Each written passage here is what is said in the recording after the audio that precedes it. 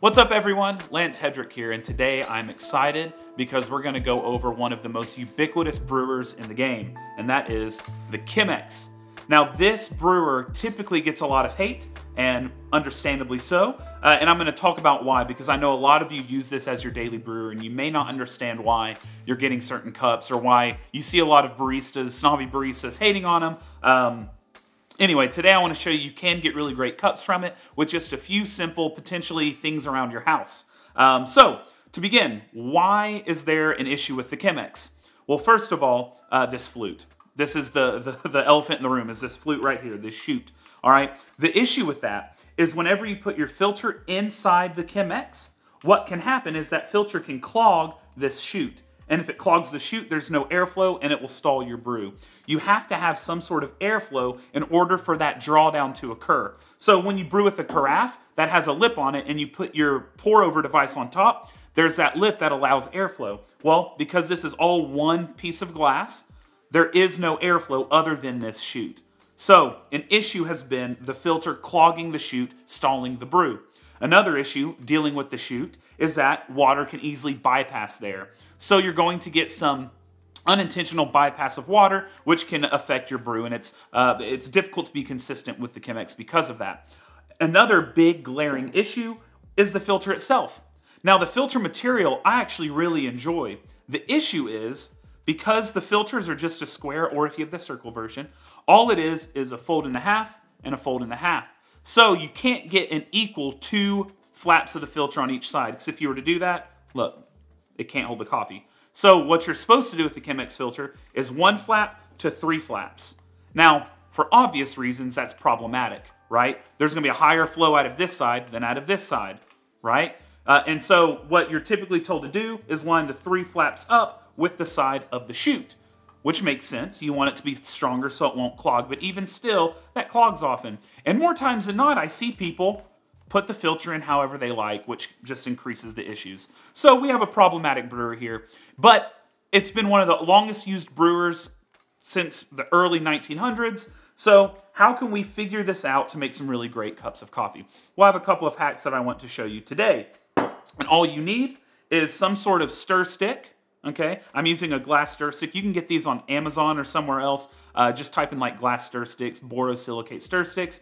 I love these. I have like a lot of them at home. Uh, they're incredible. Uh, a pair of scissors, and then some some sort of piece of silicone. I had this laying around my house, uh, but just some sort of silicone that's you know make sure it's uh, uh, food safe. But some sort of piece of silicone. I'm just using. I don't even know what this is. To be honest with you, it was just something I had laying around the house. But silicone, maybe an old phone case. Um, all right, so with those three things, let's continue.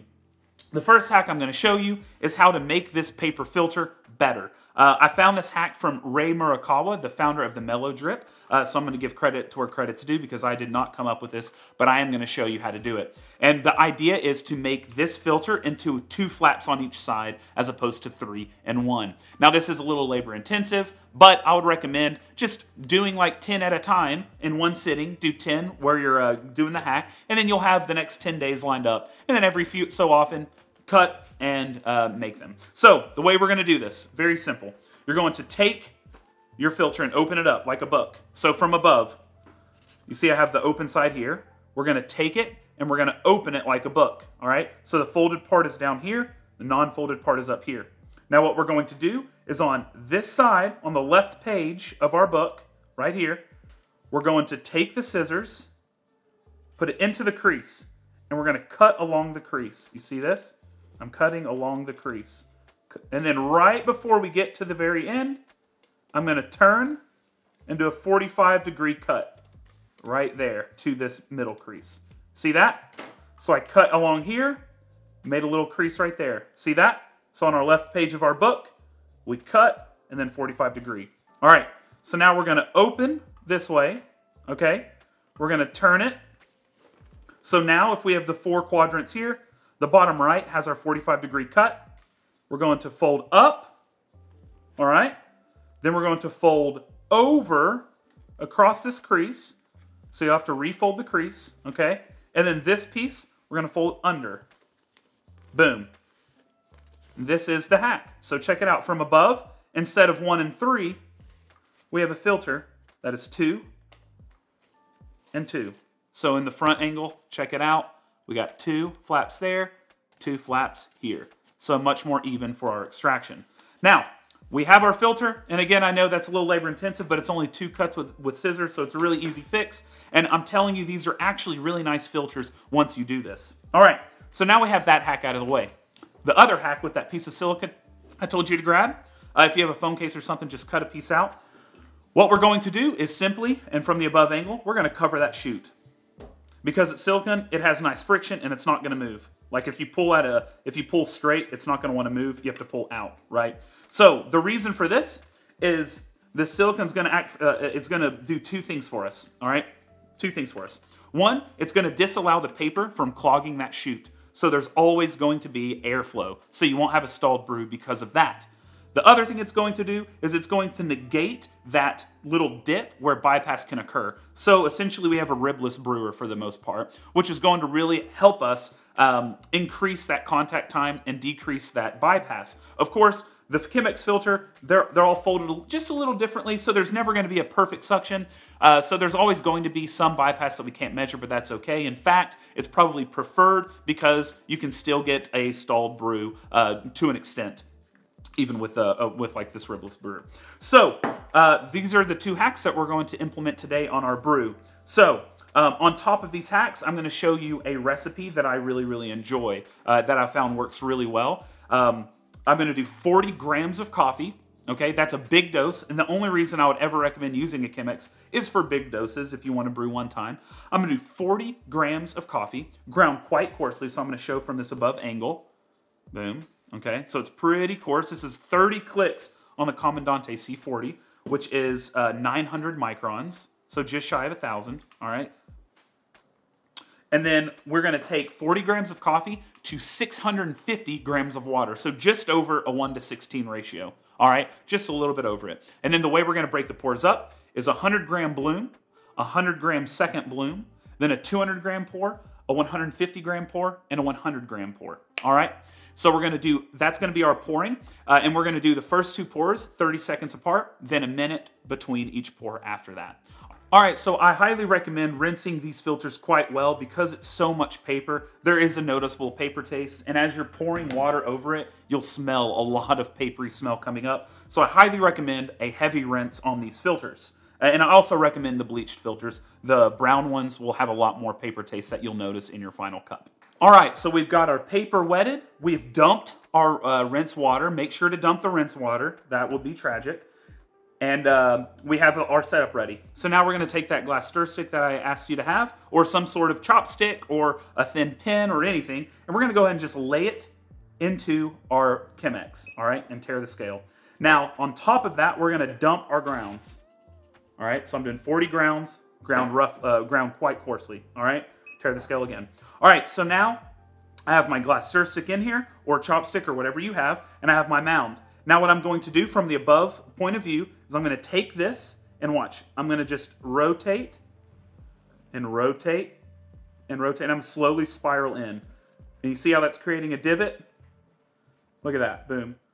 All right, so now we have a divot, and this is an important uh, thing to do, all right? It's going to allow us to, uh, to saturate our bed more fully, more quickly here at the beginning. Um, and because the bed is so deep, that is highly necessary, all right? So we are ensuring that we're gonna fully saturate this bed with as little um, uh, motion as possible. So just so you know, as I'm sure you, you already have found out if you brew with a Chemex, these are prone to having stalls, okay? So doing this is going to allow us to do less agitation to fully saturate everything uh, and, and to decline those stalls. All right, so now we have this ready and I'm gonna start the brew. So for the water, I'm using boiling water right off the boil and I'm gonna start brewing. If you're using a darker roasted coffee, feel free to use less hot water um, because it's going to extract less. And so if you have a darker coffee, you can get a lot of bitters if the, if the water's boiling. I'm using boiling because I'm using a lighter roasted Ethiopia coffee today. Um, so I recommend boiling unless you're using darker coffees, then go down a bit. All right, so we have our coffee boiling, or our water boiling, and we're going to start our timer, and I'm gonna pour 100 grams starting in the center and spiraling out. All right, we're at 100. Now I'm gonna do the spin. I'm gonna take it and look closely from above. You see those clumps down below? I'm gonna keep spinning until we see those clumps go away. And then we're gonna have that gas come up. The CO2 is releasing. This is about a week off roast, so we're gonna have a really nice crust forming. And that's why we're gonna pour a second bloom. The gases are being caught behind this crust that I formed. Now watch on the second pour. I'm gonna pour a second 100 at 30 seconds. Look at all the gases coming out. See that?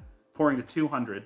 And then again, I'm going to swirl until I see those clumps go away. All right?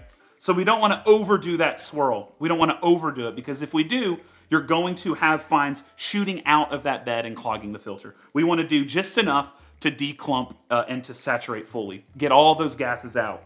Now, at a minute, we're going to do a 200 gram pour, and it's going to be aggressive. And we're at a minute, 200 gram pour. So we're pouring to 400. And I'm just doing circles kind of in the middle, pouring up to 400, and boom.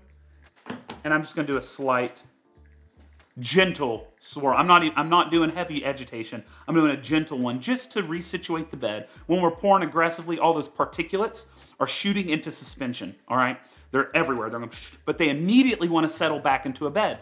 So what I'm trying to do is I'm trying to immediately do a small little swirl because what that allows is to it allows us to settle that bed and to negate potential channels. So that is a huge thing that we're trying to do here. But if you're too aggressive, you will get a clogged brew. So don't be too aggressive, all right? Now, I chose to use an Ethiopia on this video because Ethiopias produce a lot of fines. So if you have a less than ideal grinder, I want you to see what even a coffee with a lot of fines um, is going to drain like. So it will take a while to drain. The final brew time, don't worry about it. The final brew time could be six minutes, it could be seven. It's not that big of a deal. You're going to enjoy the coffee regardless because on this brew, we're losing a lot of heat. And let me get this to 550. All right. Yep, there we go. I didn't want to miss my mark while I was talking. On this, because it's glass, we're going to lose a lot of heat. It's going to lessen the extraction as you're going. Actually took a uh, one of those infrared thermometers and was measuring the, the, the slurry temperature, and it quickly goes down because the wide surface area and because there's glass just sucking the heat out. So it's not a big deal. The long contact time is not a big deal, so don't worry about it. Obviously, if it's taking 15 or 20 minutes, there's an issue there. But other than that, just make sure that when you're doing the swirls, you're not being overly aggressive. All right, so we're nearing to the three minute mark, and our water is actually cooling a lot as well as it's sitting here, unless you're putting it back on your um, back on your base in between pours in order to raise that temperature back to boiling. I'm not doing that because I know this contact time is going to be long, and so it's lessening. I'm lessening agitation and I'm lessening the uh, temperature as the brew goes. For this final pour, I am pouring more softly because as I said, I'm not wanting to shoot all those fines out. And as this is ending, um, more and more bitters are coming out of the coffee. So I'm trying to just lessen that by pouring so softly. And I'm gonna do just a little swirl once more to end. So now I'm at my 650 grams. I finished pouring around three minutes and 10 seconds. And now we're gonna let it just, um, we're gonna let it just drain.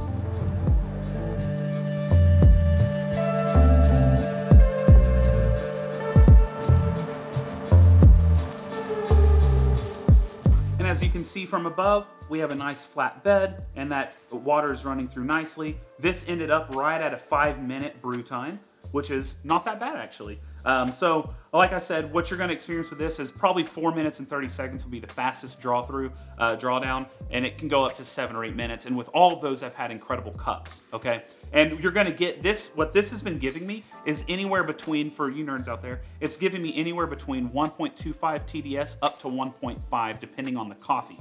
Okay, so that's that's around uh, like an 18.5% to a 20-ish percent extraction, which is actually quite good for a Chemex.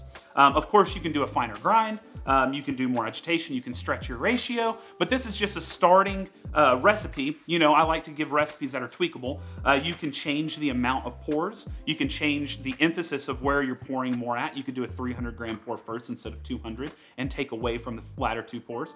But this is what I have found to be the most consistent and delicious brew that I've been able to create. So I highly recommend giving that a shot. Um, I'm about to pour some out and then check how my brew was. All right, so let's give this a taste.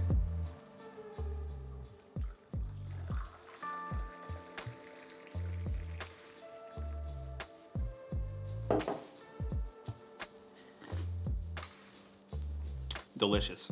The Chemex can be an incredible brewer. Just got to do a little bit of a hack. And again, I recommend you trying out those filters in that way. You can use them on other brewers as well because I'm telling you, it's actually a really nice filter. Thanks again to Ray Murakawa for that hack. And uh, again, on that silicone, you can use like a cell phone case or something. Just rinse it and uh, use that to block the chute. And I'm, uh, I'm excited to, for, for you all to try this out and to let me know some feedback. Um, anyway, I hope this elevates your Chemex experience. Hope it's not too complicated. I'll put the recipe below in the comments, as well as what my little piece of silicon is if you actually like that one. So anyway, thanks so much for watching. Please like and subscribe if you enjoyed this video. Of course, if you don't, leave some feedback. I'm happy to listen and to do whatever it takes to give you as much accessible content as possible. Um, and then I'm gonna link some videos at the end if you'd like to keep watching some. I did a V60 video last week that I really enjoy. It's a recipe I think is pretty great. And then I have a pour over 101 that um, I did the week before. Thank you so much. Cheers.